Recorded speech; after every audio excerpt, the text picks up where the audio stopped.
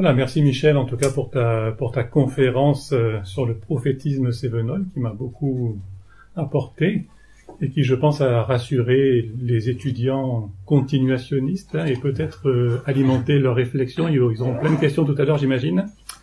Alors, en ce qui me concerne, j'ai essayé d'établir un lien entre la prophétie et la prédication, précisément parce que je suis plutôt cessationniste, mais comme la Bible parle beaucoup de, de prophétie, il est important de bien comprendre euh, la nature du lien entre la prophétie et la prédication, pour que tout ce que la parole de Dieu dit au sujet de la prophétie puisse être appliqué d'une manière ou d'une autre à la prédication. Alors c'est Vern Poitras dans un article euh, sur les dons spirituels qui rapporte que Charles Spurgeon, qui n'était pas un charismatique, aurait dit pendant un sermon, sans que personne ne l'ait préalablement informé de la situation, il y a un homme assis là qui est cordonnier et qui garde son magasin ouvert le dimanche. Il était ouvert dimanche dernier. Il a encaissé neuf pence et a fait un profit de quatre pence. Il a vendu son âme à Satan pour quatre pence. Ça rigolait pas avec Spurgeon, le prince des prédicateurs. Mais justement, Spurgeon était-il non seulement un excellent prédicateur, mais aussi prophète à l'occasion? D'où tenait-il cette information? Est-ce qu'elle lui avait été révélée directement par Dieu? Y a-t-il des points communs entre la prédication et la prophétie? Et si oui, quelle incidence sur notre pratique homilétique? Donc dans cette intervention, je vous propose de définir dans un premier temps ces deux modes de communication. Ensuite, on essaiera de voir ce qui les distingue et ce qui les unit. Et puis, si on trouve suffisamment de points communs, de points communs, ce qui a été mon cas, eh bien, on essaiera d'en tirer des applications pratiques pour euh, la prédication aujourd'hui. Alors, tout d'abord, quelques éléments de, de, définition. On réveille le diaporama. Voilà.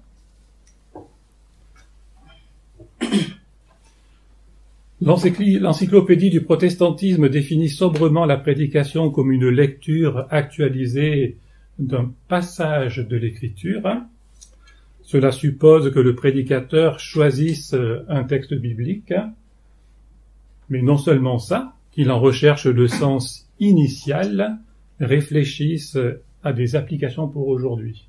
Tous ceux qui ont suivi des cours d'homilétique ou d'initiation à la prédication n'ont pas besoin que je donne davantage de détails à ce sujet.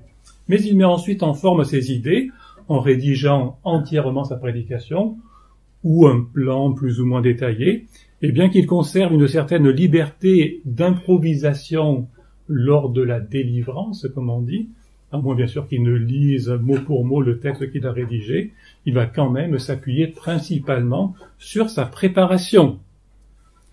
Alors si la prédication est relativement aisée à définir, les théologiens ont plus de mal à s'entendre sur la nature de la prophétie, en particulier telle qu'elle était pratiquée dans les églises du Nouveau Testament. C'est celle qui m'intéresse plus particulièrement ce matin. Certains n'y voient pas autre chose que la prédication, telle qu'on l'observe aujourd'hui. L'apôtre Paul parle de prophétie, en fait il veut juste parler de prédication, comme ce qu'on fait aujourd'hui. D'autres y voient une interprétation inspirée de l'Ancien Testament, comme euh, dans le discours de Pierre, le discours d'Étienne. On cite des textes de l'Ancien Testament, mais le Saint-Esprit nous permet d'en avoir la bonne interprétation à la lumière de l'Évangile.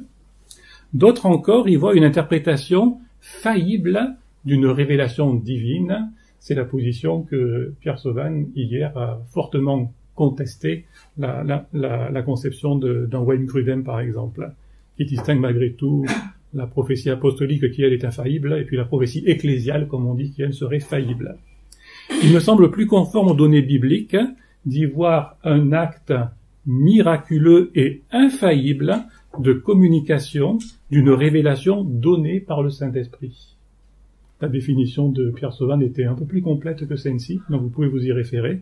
Mais là, je pense qu'on a l'essentiel de ma compréhension de la prophétie telle qu'elle est pratiquée dans le Nouveau Testament. Elle est en effet plus spontanée qu'une prédication ordinaire, ne porte pas nécessairement sur un texte de l'Ancien Testament. Lorsqu'Agabus prédit une famine, il n'est pas en train de citer l'Ancien Testament. Et elle n'est pas moins infaillible, à mon sens, que la prophétie vétérotestamentaire, sinon elle n'est pas réellement prophétie. Si les messages des prophètes étaient faillibles, pourraient-ils servir de fondement au nouveau temple que le Christ est en train d'édifier, au même titre que l'enseignement apostolique, le fondement des apôtres et des prophètes Et Wayne Gruden, qui est un peu embêté par ce verset, est obligé de traduire le fondement des apôtres tirés prophètes. Donc, pas tous les prophètes, mais seulement les apôtres en tant que prophètes. C'est comme ça qu'il arrive à s'en sortir. Bon, continuons avec les différences entre la prophétie et la prédication. Tout d'abord, la prophétie, je vous ai fait un petit tableau là pour faire apparaître euh, dans une seule vue d'ensemble les différentes euh, les, différences entre elles. Premièrement, la prophétie est spontanée alors que la prédication est préparée, c'est la première ligne. C'est poussé par l'esprit que le prophète prend la parole après avoir reçu une révélation divine, comme lorsqu'Agabus annonce sa famine.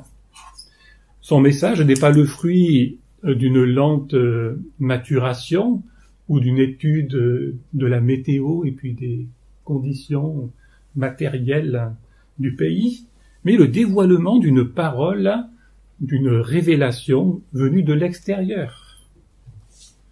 Le prédicateur, en revanche, passe beaucoup plus de temps à préparer son intervention qu'à la délivrer. En principe.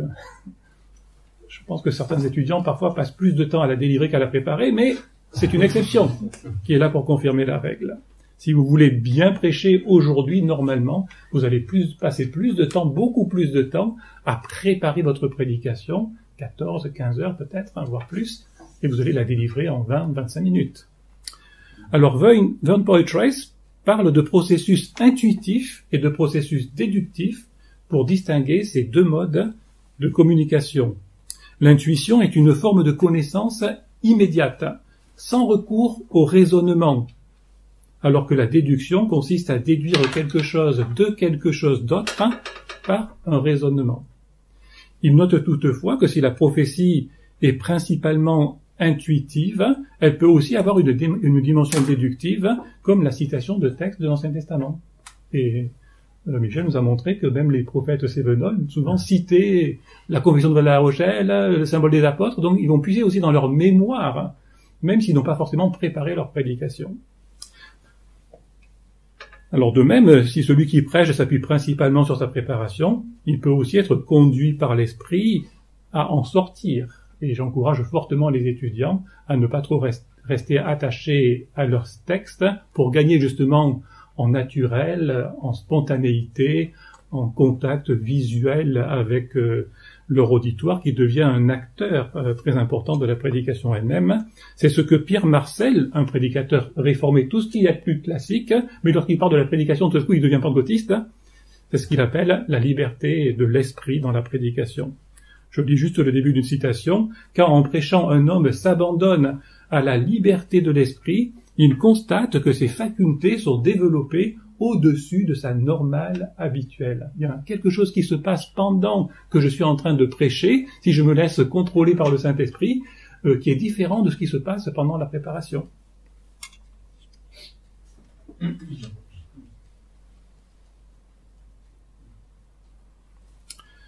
Autre différence, la prophétie est infaillible alors que la prédication, a priori, euh, est faillible. Les apôtres et les prophètes étaient infaillibles dans l'exercice de leur ministère prophétique du fait de l'assistance particulière dont ils bénéficiaient de la part de Dieu dans la réception et la communication de révélations contribuant à l'élaboration du canon du Nouveau Testament. Donc l'Esprit est à l'œuvre au début, mais aussi à la fin, lorsqu'ils transmettent ce message qu'ils ont reçu de la part de Dieu. Ce n'est pas le cas des prédicateurs qui, même lorsqu'ils sont correctement formés à la faculté Jean Calvin et remplis de l'esprit, peuvent errer dans leur interprétation du texte biblique. Hein. Ils ne sont pas infaillibles. Et parfois, c'est au moment de choisir leurs applications qu'ils peuvent être tentés d'en tirer des applications qui ne sont pas réellement dans le sens du texte, hein. qui ne peuvent pas être clairement déduites du sens du texte, et ils vont être tentés, voilà, de, d'en tirer des applications qui les arrangent, mais qui ne découlent pas naturellement du, du sens du texte sur lequel ils sont en train de prêcher. Troisième différence, la prophétie résulte d'une révélation, alors que la prédication résulte d'une illumination. Une révélation, qu'elle soit doctrinale ou circonstancielle, est quelque chose qui vient spontanément à l'esprit du, du prophète de la part de Dieu. C'est la définition qu'en donne Wade Grudem. Sans analyse préalable du texte biblique ou de la situation. Ça vient spontanément, il ne s'est pas spécialement préparé. L'illumination, en revanche, est un éclair de compréhension que donne le Saint-Esprit au prédicateur après qu'il a creusé le texte et laissé incuber pendant un certain temps. Ça lui vient pas comme ça tout de suite à l'esprit, mais c'est l'aboutissement de tout un processus euh, intellectuel et spirituel, de toute une préparation et d'un travail aussi de l'esprit dans son cœur pendant tout ce temps de préparation. Il ne découvre pas le sens caché ou spirituel du texte, mais comprend son sens naturel et comment l'appliquer de manière légitime à son auditoire. Puisque la prophétie a sa source dans une révélation divine qui lève le voile sur un mystère que Dieu n'avait pas fait connaître aux hommes des générations passées, elle est plus qu'une simple intuition ou un simple exercice d'improvisation. Bien sûr, la prophétie est spontanée, mais elle implique, elle comporte une révélation divine, quelque chose d'extérieur et une action de l'esprit qui fait qu'elle est beaucoup plus qu'un simple exercice d'improvisation. Autre différence, la prophétie est un don spirituel temporaire. Alors c'est là que mon côté cessationniste apparaîtra un peu plus fortement. Selon moi, la prophétie est un don spirituel temporaire, alors que la prédication est un moyen de grâce permanent. C'est ce que l'on peut déduire de ce fameux verset d'Éphésiens 2.20 qui parle du fondement des apôtres et des prophètes. Une fois que le fondement a été posé, eh bien les apôtres et les prophètes disparaissent du champ de l'Église et sont remplacés par d'autres ministères qu'on le retrouve dans les épîtres pastorales, les anciens, euh, les diacres, mais pas pour la partie communication, et les anciens étant aussi assimilés aux pasteurs enseignants d'Éphésiens 4, alors cela ne signifie pas que tous les aspects de la prophétie ont disparu, mais seulement certains aspects que l'on pourrait considérer comme étant non transmissibles, comme l'infaillibilité ou la réception de nouvelles révélations doctrinales. Mais moi je suis tout à fait prêt à accepter que Dieu puisse continuer à faire des, révélations à un prédicateur alors qu'il est en train de prêcher, mais elles ne sont pas de nature doctrinale a priori, comme celles que j'ai mentionnées chez Spurgeon. Quant à la prédication, elle fait partie des éléments essentiels du culte chrétien à travers les siècles, même si elle, a connu des périodes de, déclin. Donc voilà pour les différences. Je pense que maintenant vous pouvez mieux distinguer dans votre esprit la prophétie de la prédication, mais il y a quand même aussi pas mal de choses qui unissent ces deux modes de communication. C'est ce que nous allons voir dans cette deuxième section de mon intervention. Tout d'abord, les deux sont des actes de communication. Cela est assez évident. Le prophète comme le prédicateur ont reçu un message de la part de Dieu, le premier de manière spontanée, le second de manière préparée, afin de le communiquer à un, auditoire dans le cadre le plus souvent du culte public, mais pas seulement. Les deux nécessitent l'assistance du Saint-Esprit.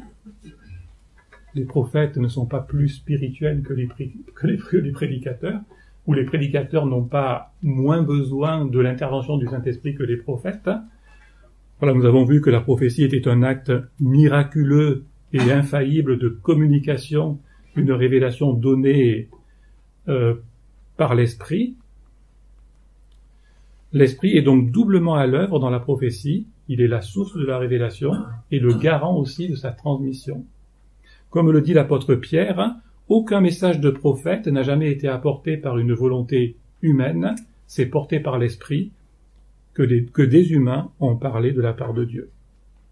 Quant à la prédication, nous avons vu qu'elle était le fruit de l'illumination intérieure du Saint-Esprit, et gagnait en force et en clarté lorsque le prédicateur s'abandonnait à la liberté de l'esprit alors qu'il est en train de prêcher, sans pour autant devenir infaillible, c'est une des différences.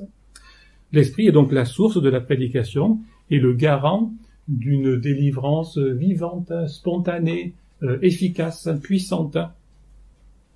Autre point commun, les deux contribuent à l'édification de l'Église. Paul affirme en 1 Corinthiens 14 que ce qui fait la supériorité de la prophétie sur le parler en langue, dans le cadre du culte public, c'est qu'elle édifie l'ensemble de la communauté, alors que celui qui parle en langue s'édifie seulement lui-même. De même, la prédication est le moyen de grâce par excellence que Dieu a donné à l'Église pour son édification dans son, dans son ensemble. Les deux ont un contenu à la fois doctrinal et pratique. Les livres du Nouveau Testament sont de nature prophétique. Hein. C'est pas seulement lorsqu'un prophète prend la parole, mais le, Nouveau Testament a été écrit entièrement sous l'inspiration du Saint-Esprit, donc ils ont un caractère en eux-mêmes qui est prophétique. Or, ils sont composés d'enseignements doctrinaux, mais aussi de recommandations pratiques qui en découlent. Il en est de même de la prédication qui doit être composée à la fois d'explication, d'illustration et d'application.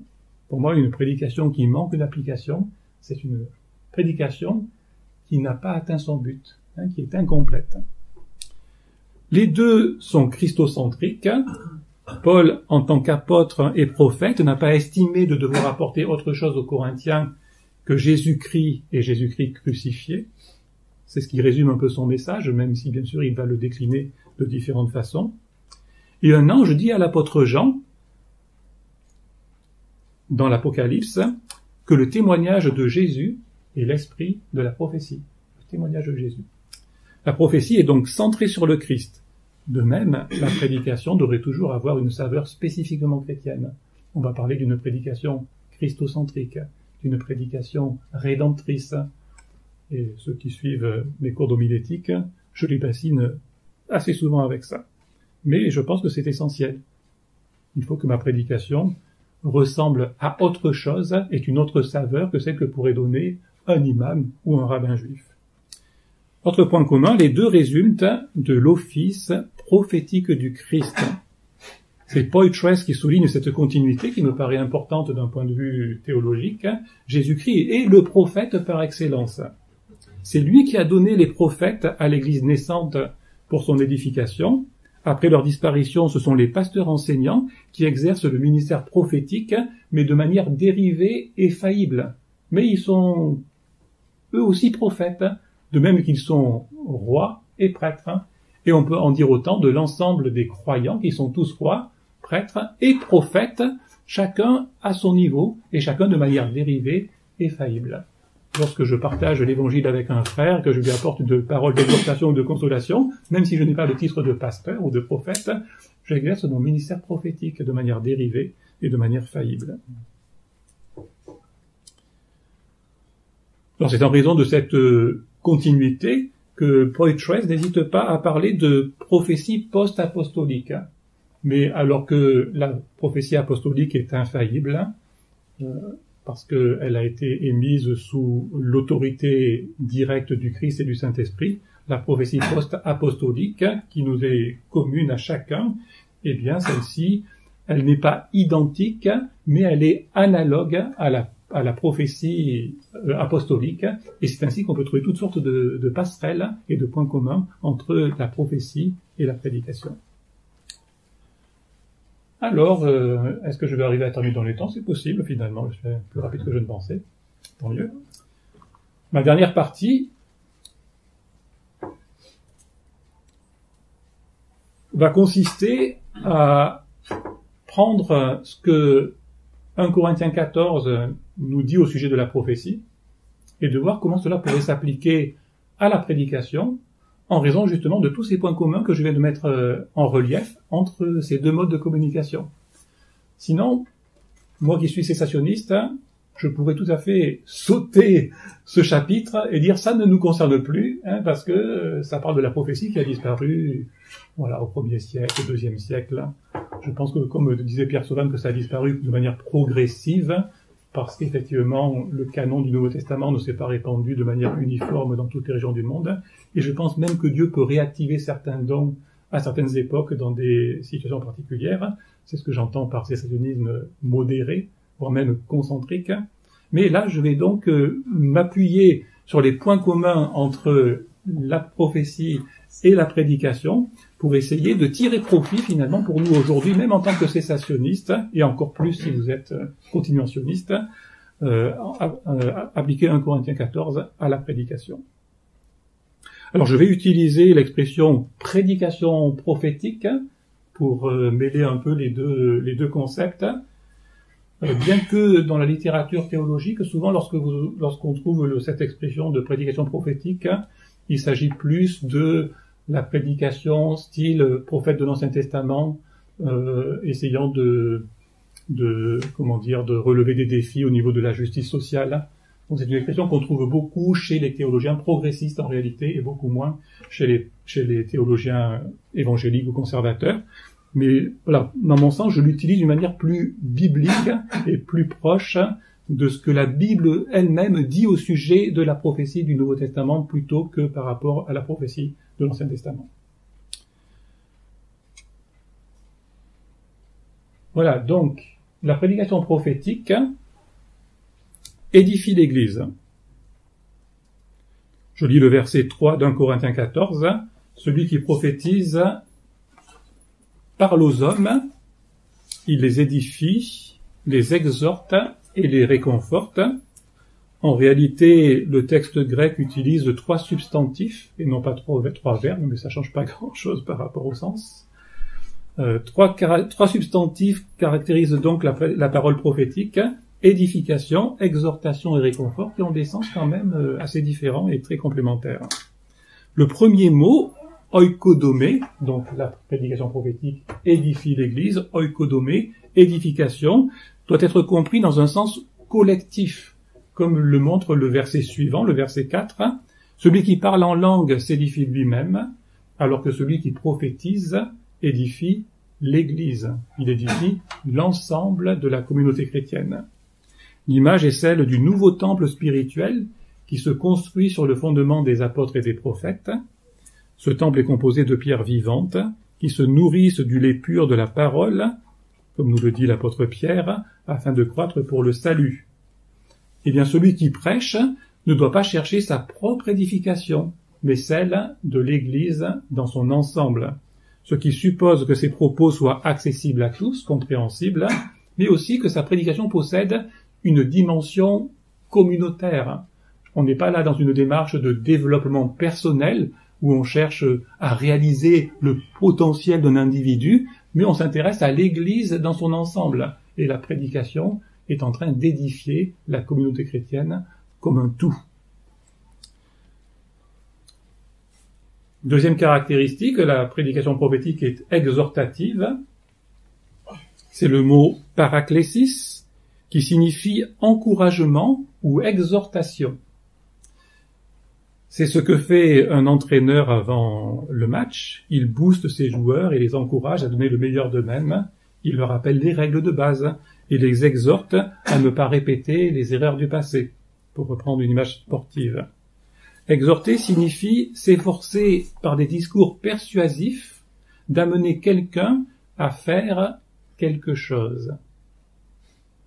Donc un simple exposé de la doctrine chrétienne, avec de belles explications, avec des reprises d'une partie de mon cours de théologie systématique, par exemple, ne suffit pas pour amener quelqu'un à changer, même si c'est important que la prédication contienne des explications bibliques et théologiques aussi précises que possible. Mais il faut aussi s'adresser à la conscience de mes auditeurs, les réveiller de leur sommeil et multiplier les applications. C'est cela, une prédication exhortative, qui n'est pas simplement explicative du texte, mais qui exhorte l'auditoire au changement, qui le pousse à changer de comportement dans un domaine en relation avec le texte sur lequel on prêche. Alors c'était déjà la compréhension qu'on avait Calvin. Voici ce, qu'il dit. Si on laisse cela au choix des hommes de suivre ce qui leur est montré, donc dans la prédication, jamais ils ne remueront, jamais ils ne remueront un pied. La doctrine donc de soi ne, peut profiter de rien. C'est Calvin qui dit ça, hein. la doctrine de soi, c'est-à-dire la doctrine toute seule. Il faut partir de la doctrine, mais ensuite en tirer des applications aussi pratiques et concrètes que possible, sinon les gens ne remueront pas les pieds, ils ne bougeront pas et ils ne changeront pas. Et ça, c'est le travail du prédicateur de réfléchir à des voies d'application possibles pour aider les gens à voir à quoi ça va leur servir dans leur vie de tous les jours.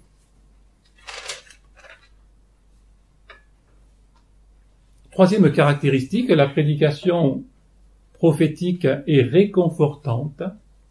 Le mot paramutia a un sens assez proche de paraclésis, mais l'encouragement est adressé aux personnes déprimées ou dans la peine. C'est ce que fait l'entraîneur après une défaite et non pas avant le match. Je ne sais pas si c'est ce que l'entraîneur du PSG a fait avec ses, joueurs après sa défaite contre le Real de Madrid. Bon, je pense qu'il les a plutôt enguirlandés. Mais voilà, normalement, un entraîneur compatissant, il va réconforter ses joueurs, il va essayer de, les aider à en tirer les leçons, et puis à, rebondir. Euh, voilà, la prochaine fois, ça ira mieux.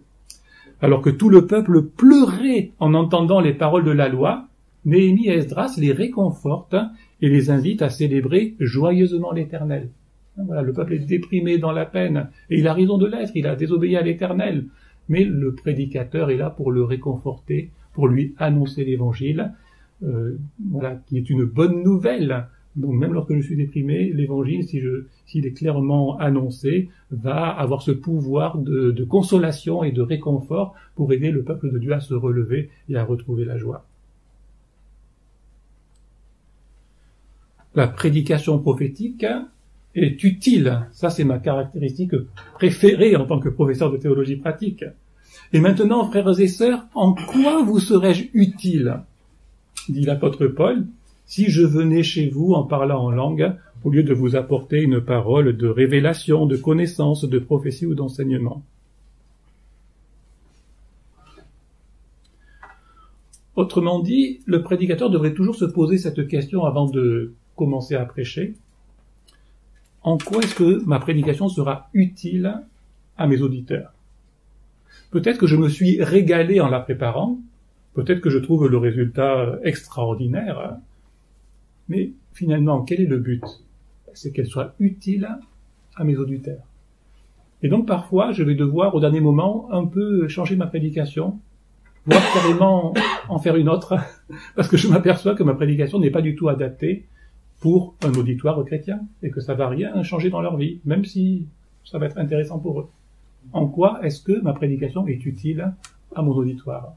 Et peut-être que si j'estime qu'elle ne pourrait pas lui être très utile, c'est parce qu'elle manque d'application. Donc je vais devoir retravailler un peu cette partie-là et rajouter des applications pratiques à ma prédication et ne pas me contenter de leur donner de belles explications. Tout ce qui est inutile devrait être éliminé, les blagues inappropriées, une introduction indigeste qui rappelle le contexte historique, des applications trop techniques, des illustrations trop développées, des applications irréalistes, des émotions excessives, des conclusions à rallonge, ou un ton déclamatoire, comme peuvent parfois y être tentés les nouveaux prédicateurs, et c'est Adolphe Monod qui nous met en garde contre l'emphase. Pour s'élever au-dessus du ton de la conversation, la plupart des prédicateurs s'en éloignent un peu trop, ils enflent leur débit et déclament au lieu de parler. Or, l'emphase devenue, le naturel s'en va. La prédication biblique, c'est une prédication qui est assez naturelle, qui est plus sur le ton de la conversation qu'un exercice théâtral, peut-être très impressionnant, mais où je perds ce contact justement avec mon auditoire. Cinquième caractéristique, la prédication prophétique est intelligible. Tout cela, bien sûr, se rejoint à Ah d'accord, ok, oui, oui, c'est je suis passé à la page suivante. Ok, intelligible. Si votre langue ne donne pas une parole intelligible, dit l'apôtre Paul, au verset 9, comment saura-t-on ce que vous dites? En effet, vous parlerez en l'air. Alors le parler en langue sans interprétation n'est pas le seul langage inintelligible que l'on entende malheureusement dans les temples. Si le prédicateur utilise des mots compliqués sans les expliquer, il ne sera compris que de lui-même, ou des spécialistes, des théologiens qui font partie de son auditoire. Mais il devrait toujours veiller à choisir des mots simples, ou s'il est obligé d'utiliser un terme compliqué, prendre le temps de l'expliquer. Paul illustre ce principe d'intelligibilité par deux images, celle de la flûte ou de la lyre et celle de la trompette. La flûte et la lyre sont des instruments de musique à usage festif et cultuel. Si ceux-ci, dit Paul, ne produisent pas des notes distinctes, comment reconnaîtra-t-on la mélodie? Et si personne ne reconnaît la mélodie, comme cela arrive parfois lors de nos réunions de prière ou de nos cultes, comment chantera-t-on à l'unisson? Ce sera impossible. Bien de même, on devrait pouvoir reconnaître dans la prédication une mélodie particulière, la mélodie de la grâce qui nous transporte tous dans le royaume de Dieu. Or, cela n'est possible que si l'évangile est clairement annoncé et n'est pas noyé dans une masse d'informations plus ou moins utiles. Il faut faire le ménage hein, avant de prêcher. Il faut enlever tout ce qui vous apparaît comme étant pas absolument nécessaire à l'accomplissement de votre but, qui est de transformer la vie des gens et de leur annoncer l'évangile. La seconde image est celle de la trompette, ou plus exactement du clairon, un des cuivres les plus simples puisqu'il ne possède ni piston ni coulisse. Cet instrument essentiellement militaire ne pouvait produire que peu de sons différents, chacun signifiant un ordre particulier. Rassemblement, en formation de combat, embuscade, battre en retraite. Et Paul dit que si le clairon émet un son confus, les soldats n'auront aucune idée de l'ordre donné. Ils vont charger alors qu'ils devraient battre en retraite, ou le contraire, avec de lourdes conséquences sur le champ de bataille.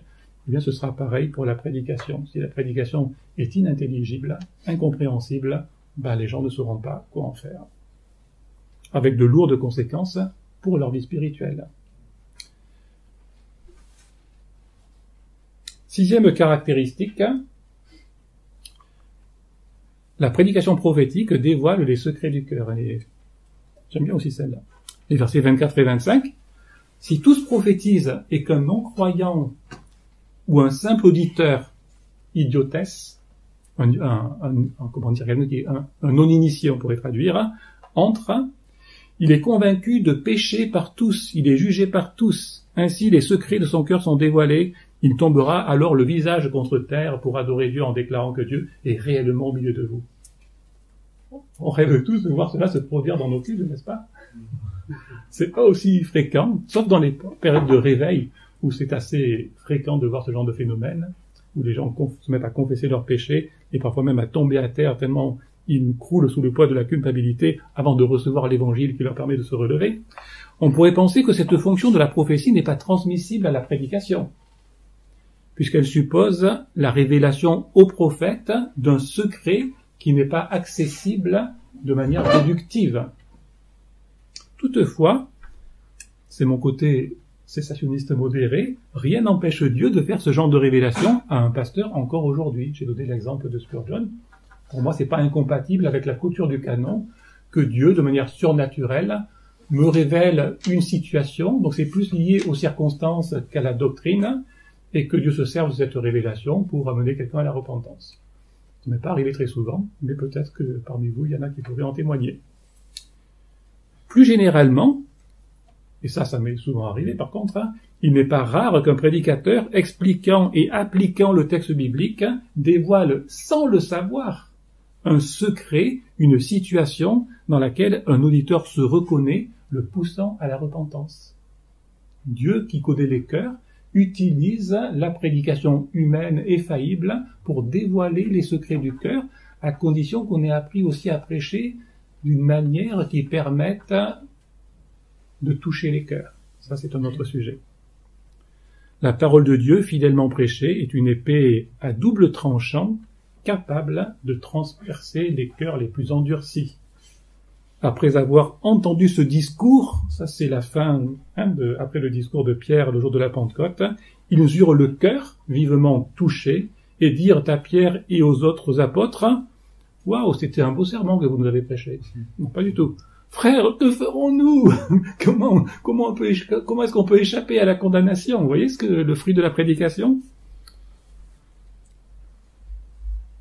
Il me reste encore quelques minutes, deux, trois minutes. Hein? J'ai encore deux caractéristiques, je pense. La prédication prophétique ne monopolise pas la parole. Ça, c'est peut-être un peu surprenant. Mais c'est ce qu'on voit dans ce chapitre 14, quant aux prophètes, que deux ou trois parlent et que les autres évaluent leur message et si un autre membre de l'assistance a une révélation, que le premier se taise. Que le premier se taise. On reproche souvent aux prédicateurs d'être trop lents, n'est-ce pas? Non, Non? Mais pourquoi ont-ils tendance à en dire trop? Bon, déjà parce que je pense qu'ils ont oublié le principe de simplicité, selon lequel, lorsque les choses sont dites, lorsque les choses sont dites simplement, courtement, on les retient plus facilement. Mais peut-être aussi parce que ils se considèrent un peu indispensables. Et ils n'imaginent pas que Dieu puisse parler à leur auditoire par d'autres moyens que leur prédication. Un chant, un témoignage, une prière. Et si je m'appuie sur ce que dit en Corinthiens 14, pourquoi ne pas imaginer des cultes hein, où vous avez deux ou trois mini-prédications qui se succèdent, plutôt qu'une longue prédication? J'ai rarement vu ça expérimenté dans les églises, mais c'est l'idée qui m'est venue, l'idée pratique qui m'est venue en lisant, en relisant 1, Corinthiens 14. C'est mercredi. Ouais. Je fais ce mercredi. Ah oui, d'accord, ok. Très bien.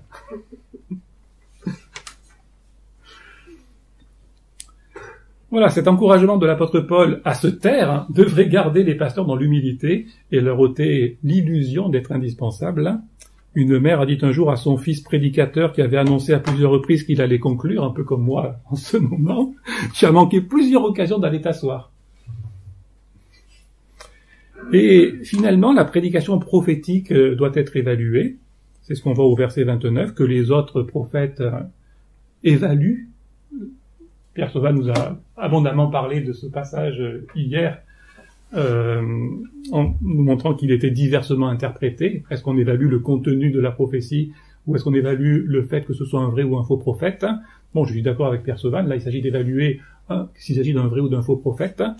Mais étant donné qu'on a vu que la prédication était faillible, contrairement à la prophétie, même si vous avez affaire à un vrai prédicateur, reconnu par l'Église, et qui, voilà, a priori, on n'a aucune raison de s'en méfier. Malgré tout, parce que la prédication est faillible et donc perfectible, je pense qu'on a tout intérêt à apprendre à s'auto-évaluer et même à évaluer un prédicateur en fonction peut-être des caractéristiques que j'ai, qui sont mises en évidence dans ce, dans ce chapitre.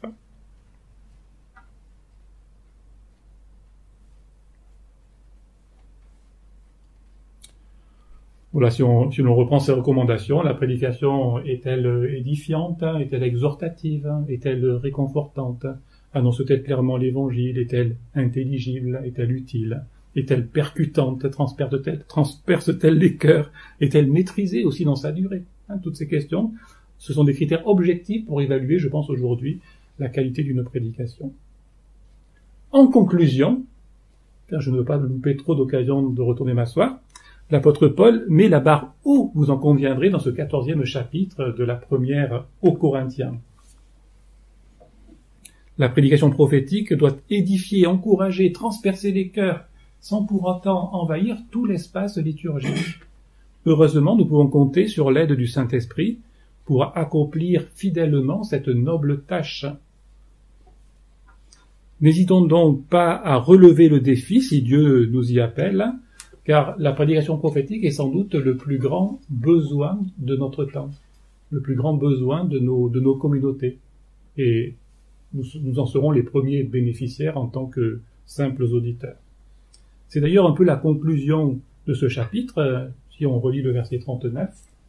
Ainsi donc, frères et sœurs, aspirez au don de prophétie. Donc, en appliquant cela à la prédication, frères et sœurs, aspirez au don de la prédication parce que vous répondrez ainsi à un des besoins les plus importants, les plus impérieux de l'Église de Jésus-Christ. Voilà, j'espère que vous entendrez cet appel si Dieu vous y appelle, et je vous remercie.